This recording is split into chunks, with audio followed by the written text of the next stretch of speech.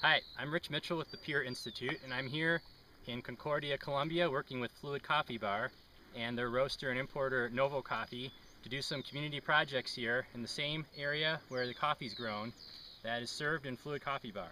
So this uh, particular project we're getting started with, Fluid Coffee Bar and Novo are helping to get needed books for the local library in Concordia.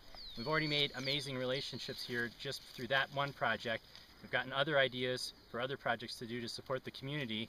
So everybody in uh, back in Denver that's drinking coffee, uh, these coffee beans will be on their way to you in about uh, three weeks or uh, four weeks. Uh, this is a gourmet coffee grown by Cafe Monte y Colinas aquí in, uh, Finca Guadalupe. in Guadalupe. Finca Guadalupe. It's in a farm called Finca Guadalupe, just outside Concordia. Listo.